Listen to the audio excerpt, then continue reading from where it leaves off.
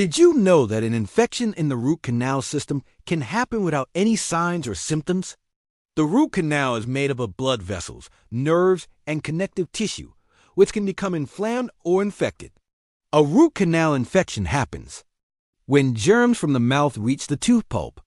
This can happen because of a cracked or chipped tooth, a broken tooth root, damage to the pulp, even without damage to the outside of the tooth, repeated dental procedures, or tooth decay. What happens during a traditional root canal procedure? The dentist or endodontist removes the infected pulp to clean and treat the inside of the tooth. Before starting, the dentist takes x rays, gives local anesthesia to numb the area, and places a dental dam to keep the tooth dry.